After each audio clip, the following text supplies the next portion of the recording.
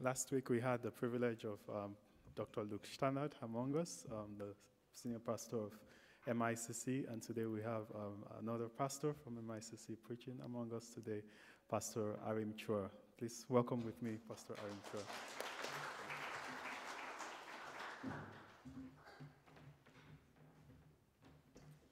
Thank you, brother, and IBC for the warm welcome.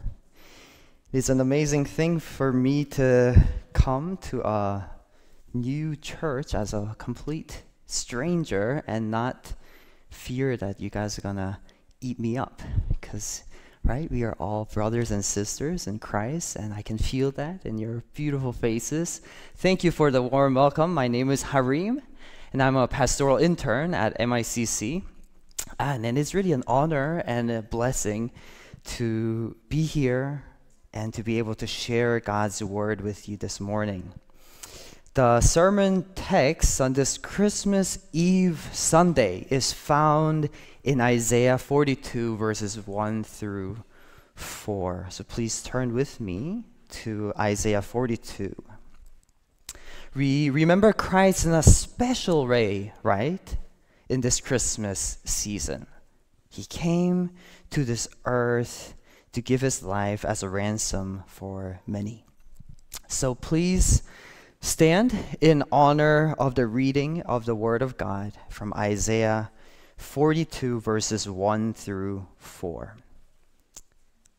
Let us pay close attention to the holy Word of God. Behold, my servant, whom I uphold, my chosen in whom my soul delights. I have put my spirit upon him. He will bring forth justice to the nations. He will not cry aloud or lift up his voice or make it heard in the street. A bruised reed he will not break, and a faintly burning wick he will not quench. He will faithfully bring forth justice. He will not grow faint or be discouraged till he has established justice in the earth, and the coastlands wait for his law. Please join me in prayer. Father, we thank you so much for giving us the Bible, which is your inspired word written down for our benefit that is able to make us wise for salvation by faith in Christ Jesus, our Lord, your Son. I pray that you would speak to us through your living and active word this morning, that you would empower me by your Spirit to proclaim your word clearly and effectively, that you would open our ears and hearts to receive your word of Christ humbly, desperately, that we might grow in the knowledge of you and love you more and more and worship you appropriately. Would you do this that you may be glorified in Christ and in the church? In Jesus' name I pray. Amen. Please be seated.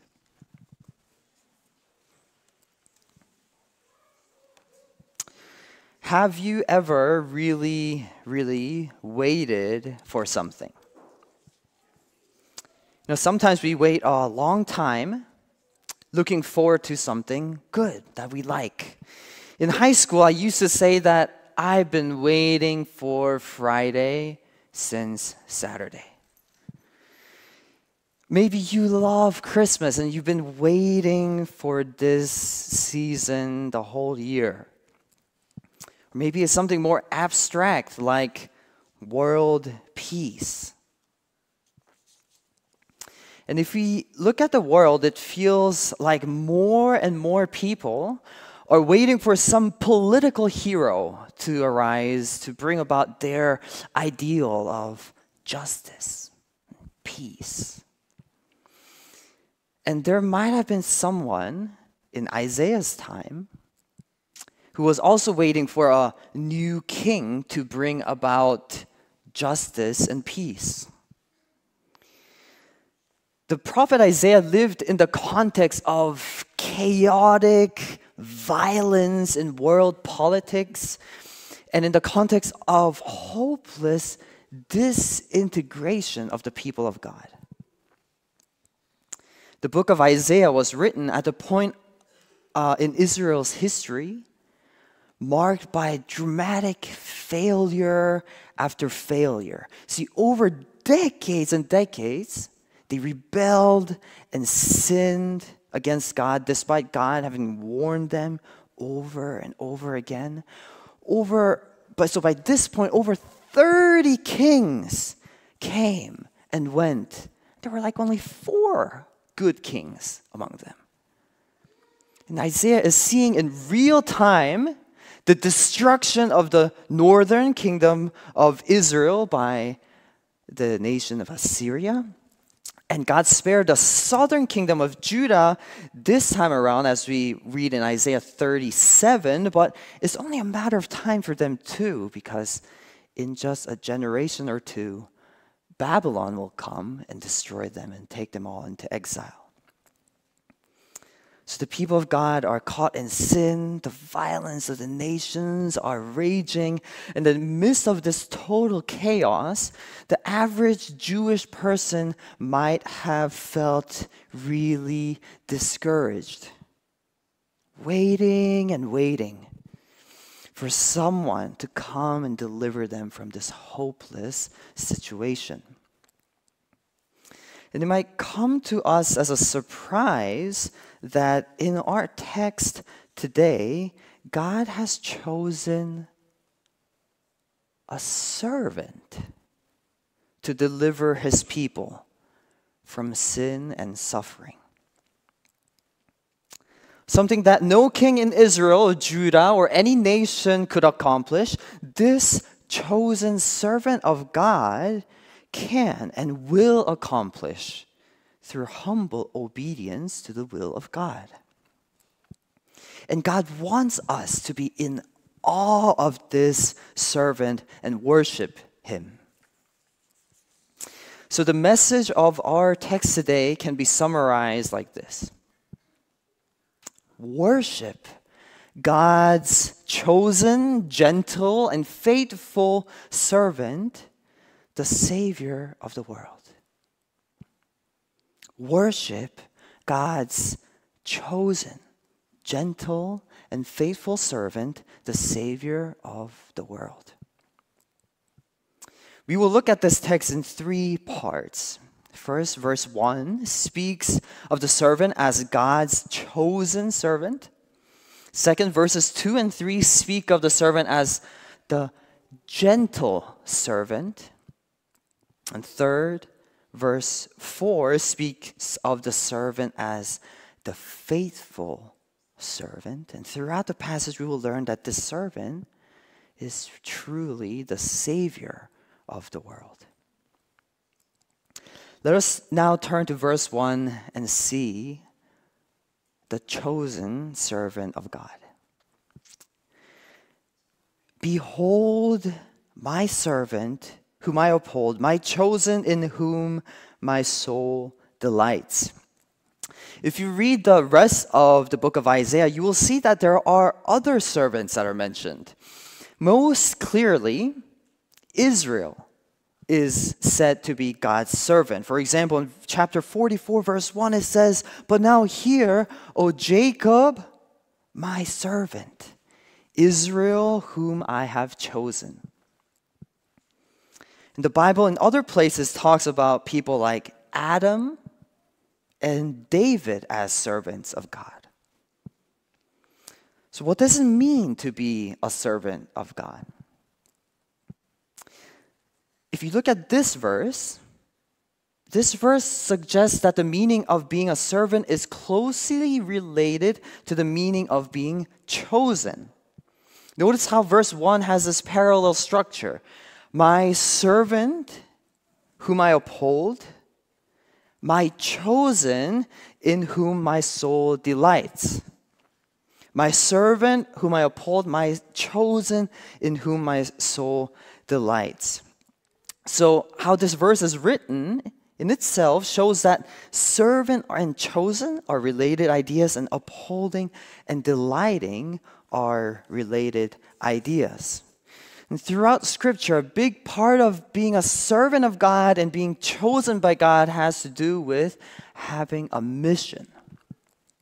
And that mission is usually to represent God in this world by doing the will of God. For example, Israel. Israel's mission was to represent God among the other nations by obeying God's law and leading them to God with humility and compassion.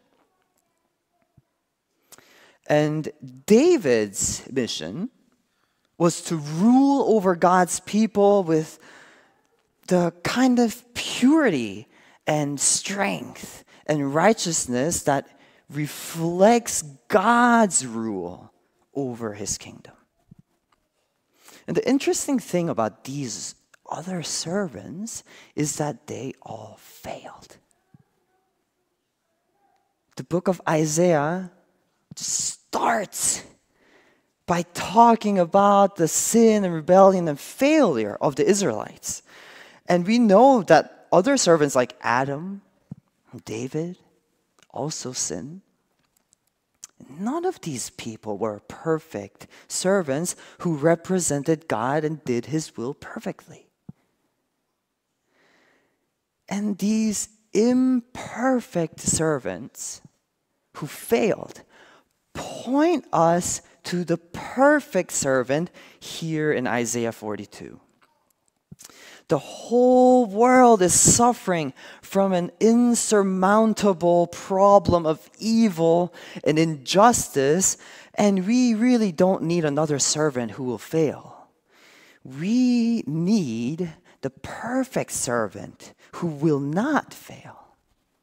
And that servant is Jesus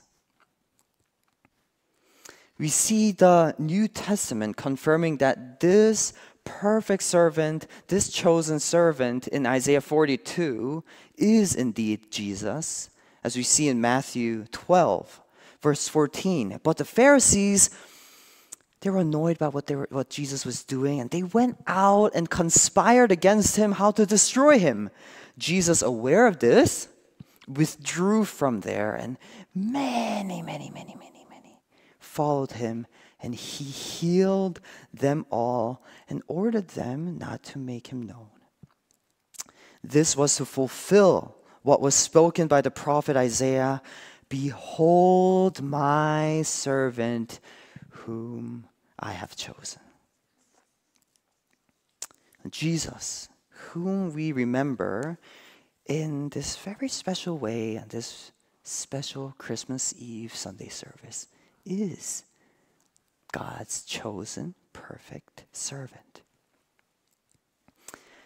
And we see that God loves Jesus, his chosen servant.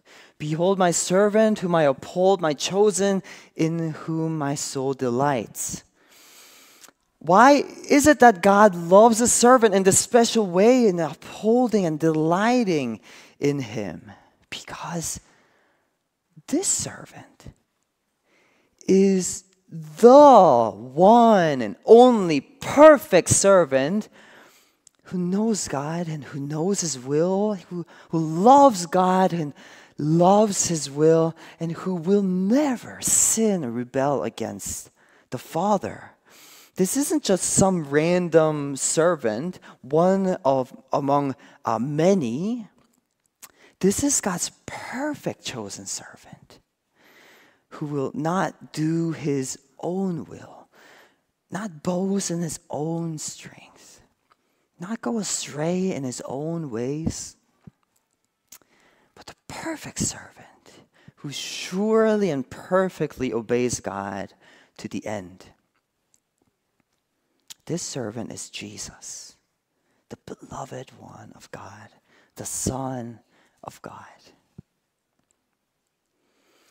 Let us continue reading and see how special this servant really is. I have put my spirit upon him, second half of verse 1, he will bring forth justice to the nations. Here we are told what the mission of this chosen servant is, which is to bring forth justice to the nations. What does God mean by bringing forth justice to the nations? Because it's important for us to understand because the same concept is repeated two more times in verses 3 and 4. And so what does what does this justice mean? It might mean maybe fairness to us in the sense that if you get two candies for Christmas, I should also get two candies for Christmas. But it feels like, right, the sense of this word here goes much deeper and shows that God wants perfect justice, true justice, that everything wrong gets fixed that suffering people are rescued from oppressors, that systems and cultures of injustice are uprooted, that there is the restoration of perfect righteousness and joy and peace in this broken, sin stricken world. Have you ever been unjustly treated. You know, like racism at the airport. And it's just so frustrating and hurtful when things like that happen. Or for my young friends who are saying here so politely and so well during the sermon, my friends who are under 18 and who are still at school. Have you ever had a moment when something happened and you just thought it was so unfair, but you couldn't tell your teacher about it because he or she wouldn't believe you or wouldn't care? Or maybe you didn't want to tell anyone because it's actually a bully problem. And you were afraid that even the teachers couldn't really do anything about it. Well, Jesus is not like the teacher who doesn't know or who doesn't care or who can't do anything about injustice. Jesus cares about the problem of injustice in this world and has come, and in fact, will come again to fix it. Ultimately, when Jesus comes back one day, he will fulfill this great mission of bringing total justice. No more suffering, no more pain, no more racism, no more bullies. Bringing forth perfect, true justice may sound like an impossible mission, but Jesus is God's chosen servant and he will do it.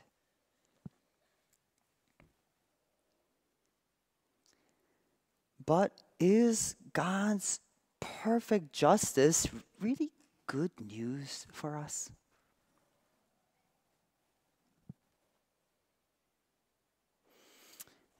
If God were to be perfectly just, he would need to judge all sins and condemn all sinners. That's bad news for us, right? Because who will be able to survive God's bringing forth justice in the world? How can any of us escape God's just condemnation? I mean, we've all sinned, you and I, and fall terribly short of the glory of God. And I think the answer is hinted at in this verse that we just read and explained later in verses 2 through 4. But let's first look at verse 1. God says, I have put my spirit upon him, and he will bring forth justice to the nations. See, throughout Isaiah, God has been talking about the work of the Holy Spirit in empowering and confirming the coming Messiah, the promised Savior of the world. And this verse points us to what happened at Jesus' baptism when the Spirit came down like a dove. And like in that text here, we see the Father, the Son, the Holy Spirit present. This amazing little verse.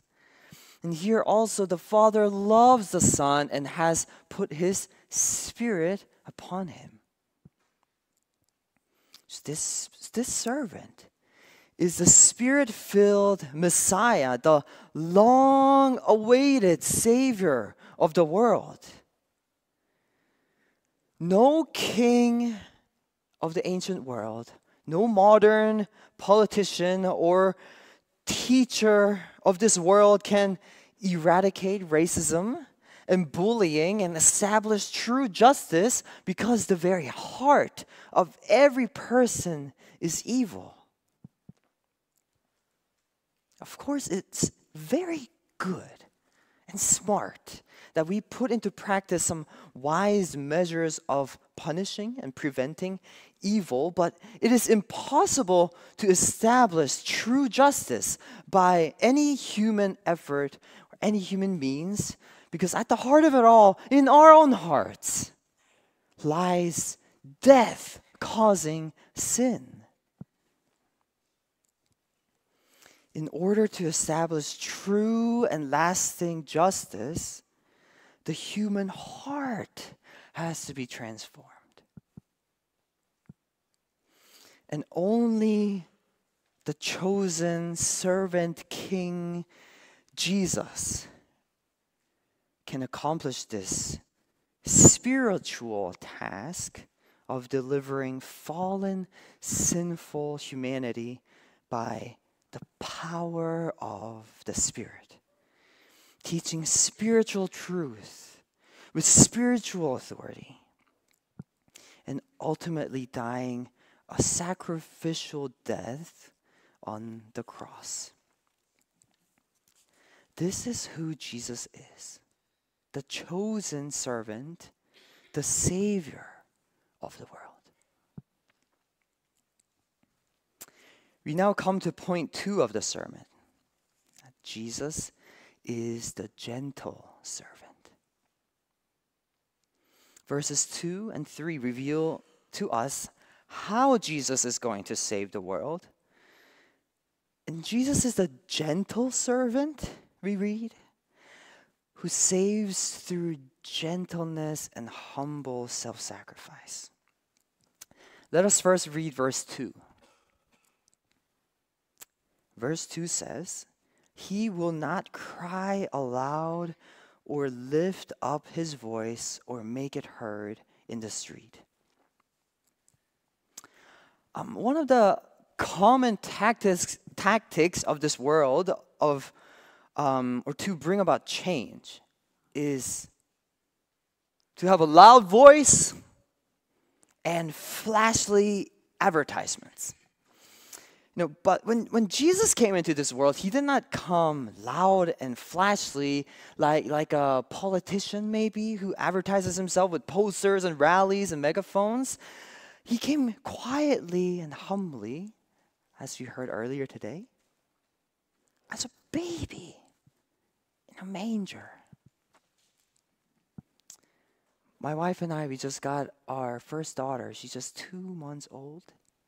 And it is unbelievable that Jesus came as a little baby, that he was at one point in his life two months old.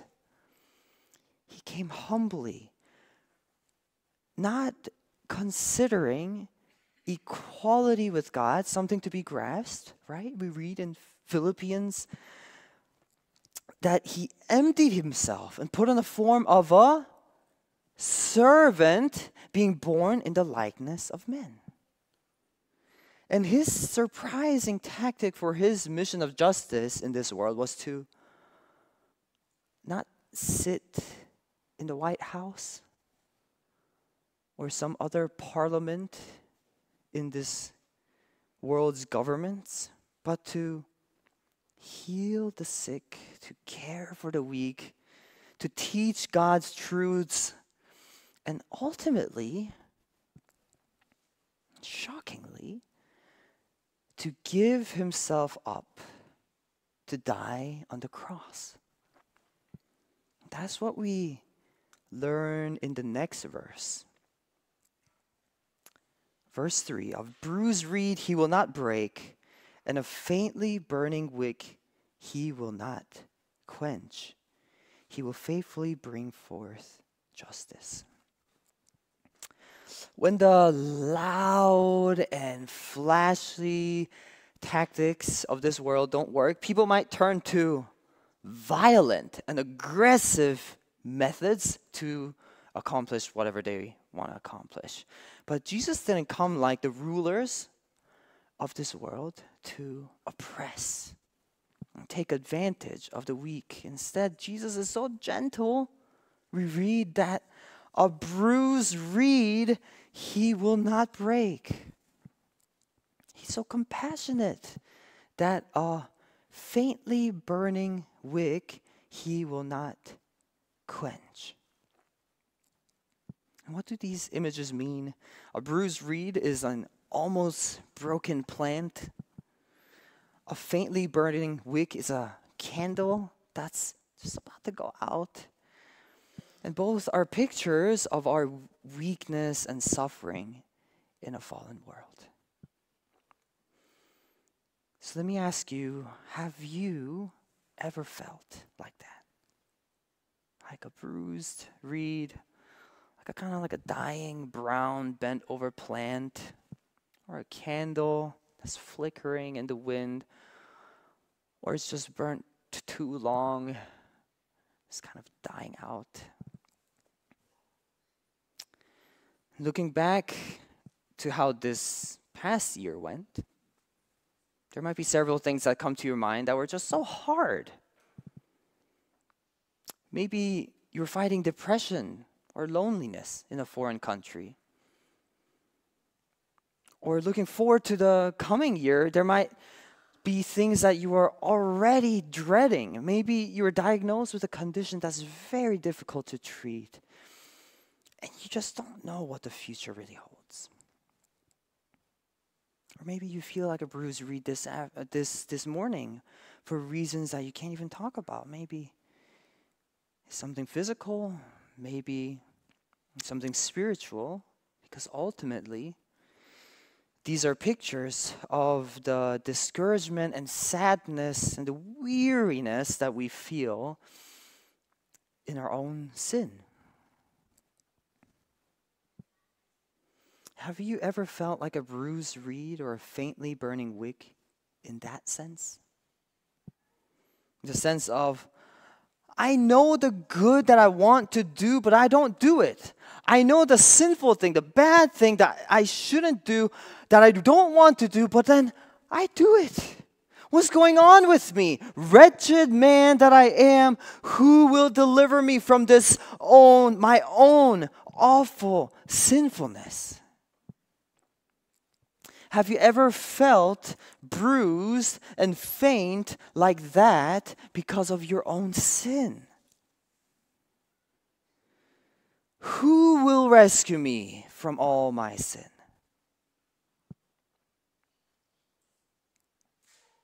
And if you have read the wonderful book of Romans, you know that the New Testament answers. Thanks be to God through Jesus Christ our Lord. When Jesus was born in Bethlehem 2,000 years ago, he lived a sinless life that we could never live. And he performed many miracles, confirming that he was a promised Messiah by the power of the Holy Spirit. He taught thousands about the law of saving grace received through faith in him. And he died on the cross on our behalf, bearing our sin and paying the penalty that was our punishment. Friends, that is what we remember in this Christmas season. We remember that the reason why bruised reeds like us are not crushed is because Jesus was crushed for us. As it says later in Isaiah, he was pierced for our transgressions, he was crushed for our iniquities.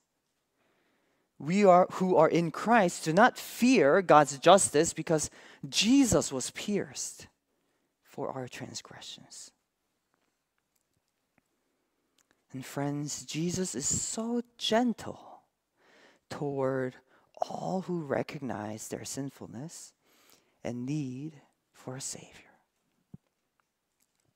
He will give rest to all who humbly and desperately come to Him for salvation. Is your heart broken and are you heavy laden because of your sin? Then come. Come in your weakness to the gentle servant, Jesus. Rely on Him for rest and restoration. This is Jesus, God's gentle servant, the Savior of the world. Now, come to our third point that Jesus is the faithful servant, the Savior of the world. The remaining verses emphasize how Jesus is certainly, surely going to accomplish his mission of justice and salvation for sinners. Let's read from the end of verse 3. He will faithfully bring forth justice. He will not grow faint or be discouraged till he has established justice in the earth, and the coastlands wait for his law. The word faithfully in verse 3 can mean uh, reliably, surely, or certainly. And this points back to how Jesus is the chosen servant of God, the perfect servant who will, who will bring true justice to the nations, who will certainly not fail. And verse 4 is a further explanation of the fact that Jesus will not fail in his mission. He will not grow faint or be discouraged till he has established justice in the earth. Notice how growing faint is related to a faintly burning wick from verse 3. And you may also have a footnote in your Bible for the word discouraged, where it says the, the word discouraged could be translated bruised. And Notice how that is related to the bruised reed in verse 3.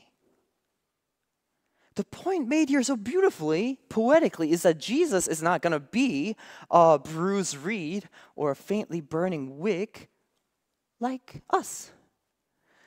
Jesus is not just a nice friend who, at the end of the day, has the same problems that we do.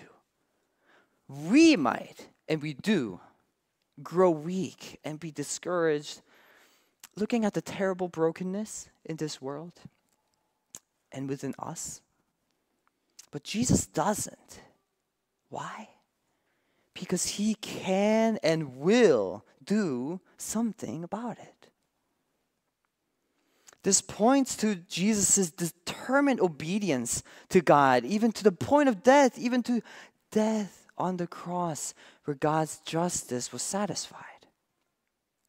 And it points further to his victorious resurrection on the third day. And it points further to his glorious future return when he will ultimately fulfill everything and establish everlasting, perfect, true justice and make our salvation complete.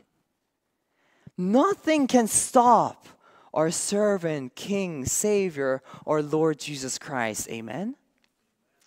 He is never going to give up, He is never going to fail.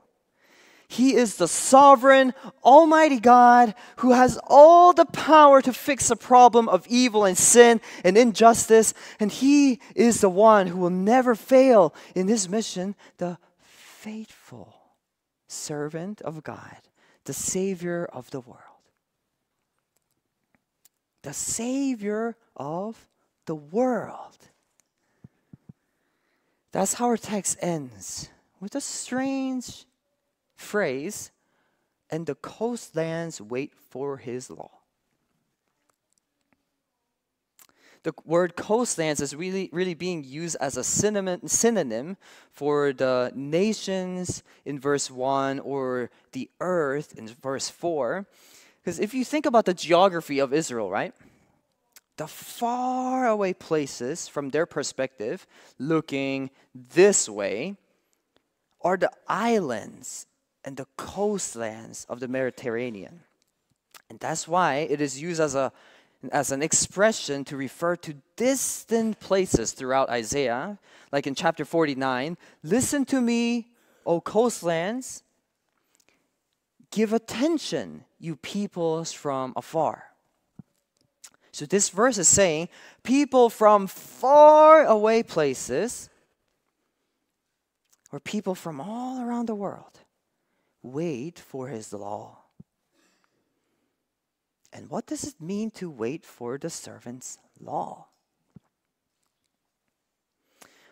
Well, we know that the whole world has been caught under the law of sin and death, and also under the law of works that leads to self righteousness and does not lead to life. And this verse teaches us that the only hope of the whole world has always been found in the law of Christ, which is the law of saving grace received by faith in Christ alone.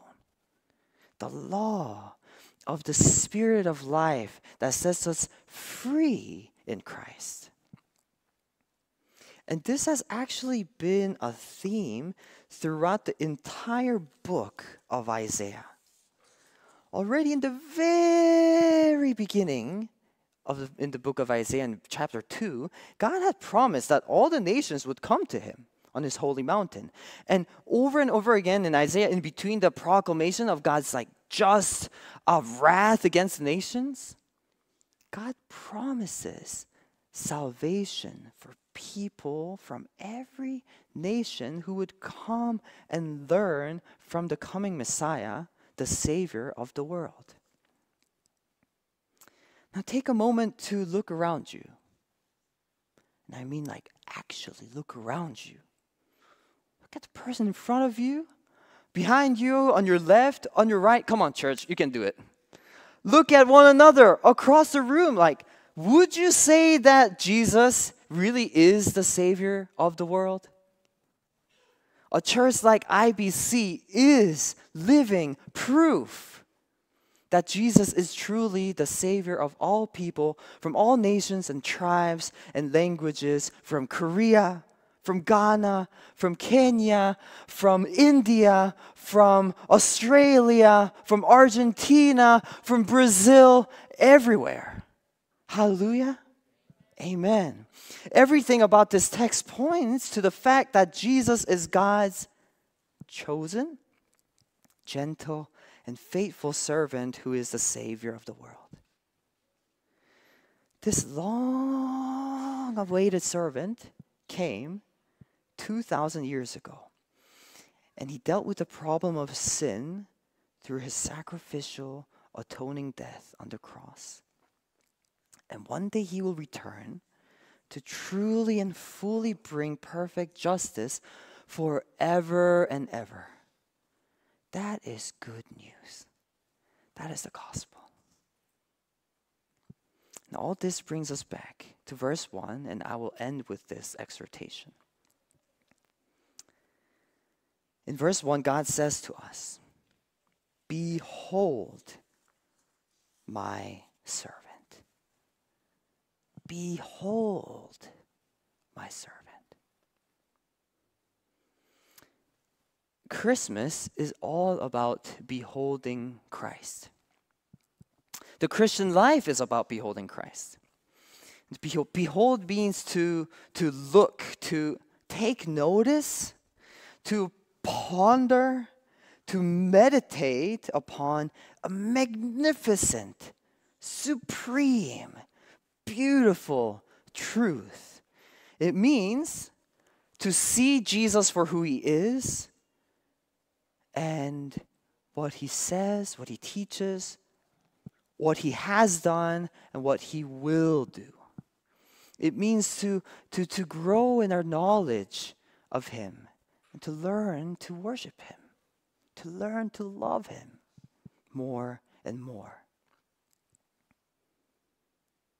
So here is the exhortation from this text for us on this Christmas Eve. Behold Jesus, God's chosen, gentle, and faithful servant who is the Savior of the world. Brothers and sisters, let us worship our Savior, Jesus Christ, our Lord. Let us behold him here in the words of Isaiah 42. Behold him in deep appreciation of his first coming and in eager expectation of his return. Behold him together with one another today after the service, during their fellowship meal. Behold him this evening as you spend time with family and friends. Behold him in this coming year by committing to spending more time with him. Let us worship Jesus, God's chosen, gentle, and faithful servant, the Savior of the world. Let us pray.